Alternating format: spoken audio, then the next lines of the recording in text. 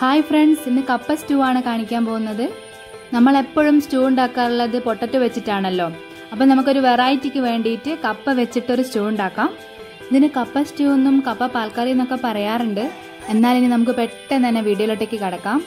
കപ്പയൊന്ന് എടുത്ത് വെച്ചിട്ടുണ്ട്. ഇതിലൊരു അര കിലോ കപ്പയാണ് നമ്മൾ എടുത്തിട്ടുള്ളത്. അത് നല്ലതുപോലെ ക്ലീൻ ചെയ്തിട്ട് ചെറിയ കഷ്ണങ്ങളാക്കി വെച്ചിട്ടുണ്ട്. ഇനി ഇത് നന്നായി തിളച്ച വെള്ളത്തിലേക്ക് ഇട്ട് കൊടുത്തിട്ട് ഒന്ന് വേവിച്ചെടുക്കാൻ പോവാണ്. കപ്പ വേവാൻ അധികം സമയമൊന്നും വേണ്ട നമുക്കറിയാവുന്നതാണ്. ഇത് ഇടിയപ്പത്തിന്റെ കൂടെയും വെള്ളാപ്പത്തിന്റെ കൂടെയും പുട്ടിന്റെ കൂടെയൊക്കെ കഴിക്കാൻ പറ്റിയ നല്ലൊരു കറിയാണ്. ഹൈ ഫ്ലെയിമിൽ തന്നെ വെച്ചിട്ടാണ് കേട്ടോ ഇത് നമ്മൾ വേവിക്കാൻ വെച്ചിട്ടുള്ളത്. അതുകൊണ്ട് പെട്ടെന്ന് തന്നെ ആവാൻ വേണ്ടിയിട്ടാണ്. ഇനി ഇതിലേക്ക് ആവശ്യത്തിന് ഉപ്പൊന്ന് ചേർത്ത് കൊടുക്കാം. എന്നിട്ട് നന്നായിട്ട് ഒന്ന് ഇളക്കി യോജിപ്പിച്ചിട്ട് ഒന്ന് വേവിച്ചെടുക്കാം. നല്ലതുപോലെ തിളച്ച് വരുന്നുണ്ട്. അങ്ങനെ ഇത് നന്നായിട്ട് തന്നെ വെന്ത് വന്നിട്ടുണ്ട്. ഇനി നമുക്ക് ഇതിലെ വെള്ളമൊക്കെ ഒന്ന് ഊറ്റിയെടുക്കണം. അതിനുവേണ്ടി വേണ്ടി സ്ട്രൈനറിൽ വെച്ചിട്ട് ഒന്ന് സ്ട്രെയിൻ ചെയ്തെടുക്കാം.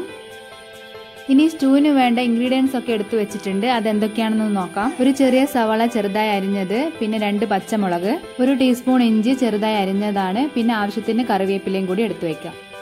ഇനി നമുക്ക് ചൂടായ പാനിലേക്ക് നമ്മൾ വേവിച്ച് വെച്ചിട്ടുള്ള കപ്പി ഒന്ന് ഇട്ട് കൊടുക്കുകയാണ്. എന്നിട്ട് നമ്മൾ എടുത്തു വെച്ചിട്ടുള്ള ഒരു ചെറിയ സവാള ചെറുതായി അരിഞ്ഞത് ഒന്ന് ചേർത്ത് കൊടുക്കാം. ഇനി നമുക്ക് ഇതിലേക്ക് നമ്മുടെ ഇഷ്ടത്തിനനുസരിച്ചിട്ട് കറിവേപ്പില ഒന്ന് ചേർത്ത് കൊടുക്കാം. ഇനി ഇതിലേക്ക് ചേർത്ത് കൊടുക്കാൻ പോകുന്നത് ഒരു ടീസ്പൂൺ ചെറിയ കഷ്ണങ്ങളാക്കി വെച്ചിട്ടുള്ള ഇഞ്ചിയാണ്. അതൊന്ന് ഇട്ട് കൊടുക്കാം.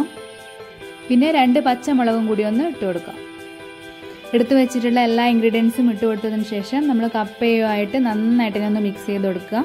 കപ്പ നമ്മൾ ഉപ്പിട്ടിട്ടാണ് വേവിച്ചെടുത്തിട്ടുള്ളത്. അതുകൊണ്ട് ഇനി അവസാനം ഉപ്പ് വേണമെന്നുണ്ടെങ്കിൽ ഉപ്പിട്ട് കൊടുത്താൽ മതി.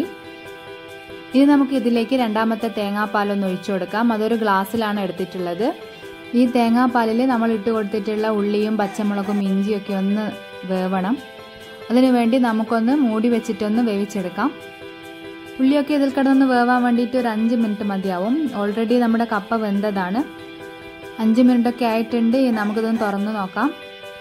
അങ്ങനെ എല്ലാം ഒന്ന് കപ്പയിലേക്ക് ചേർന്ന് വന്നിട്ടുണ്ട്.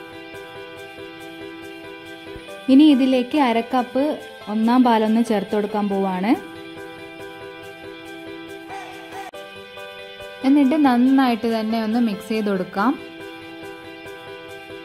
ഇനി ഇതിലേക്ക് ഒരു കാൽ ടീസ്പൂൺ കുരുമുളക് പൊടിയും ഒരു ടീസ്പൂൺ വെളിച്ചെണ്ണയും കൂടി ഒന്ന് ചേർക്കാൻ പോവാണ്. വെളിച്ചെണ്ണ തന്നെ ചേർക്കണം. വേറെ ഓയിൽ ചേർക്കുകയാണെങ്കിൽ അത്ര ടേസ്റ്റ് ഉണ്ടാവില്ല. അവസാനം ഉപ്പൊക്കെ നോക്കിയിട്ട് അത് വേണമെന്നുണ്ടെങ്കിൽ എല്ലാം ചേർത്ത് കൊടുക്കാം. അങ്ങനെ നമ്മുടെ കപ്പ സ്റ്റൂ ഇവിടെ റെഡി ആയിട്ടുണ്ട്. ഞങ്ങളിത് പുട്ടിന്റെ കൂടെയാണ് സെർവ് ചെയ്യുന്നത്. നല്ല ടേസ്റ്റാണ് കേട്ടോ ഇത് കഴിക്കാൻ. എല്ലാവരും ഇതൊന്ന് ട്രൈ ചെയ്ത് നോക്കണം. എന്നിട്ട് കമൻസൊക്കെ ഒന്ന് അറിയിക്കണം. നിങ്ങൾക്ക് ഈ വീഡിയോ ഇഷ്ടപ്പെട്ടിട്ടുണ്ടെങ്കിൽ ലൈക്ക് ചെയ്യുക ഷെയർ ചെയ്യുക സബ്സ്ക്രൈബ് ചെയ്യുക. സബ്സ്ക്രൈബ് ചെയ്യുമ്പോൾ തൊട്ടടുത്ത് കാണുന്ന ബെൽ ബട്ടൺ ഒന്ന് ക്ലിക്ക് ചെയ്ത് ഓളൊന്ന് പ്രസ് ചെയ്യാൻ മറക്കല്ലേ? എങ്കിലേ ഞങ്ങളിടുന്ന വീഡിയോസിന്റെ നോട്ടിഫിക്കേഷൻ നിങ്ങൾക്ക് കിട്ടുള്ളൂ.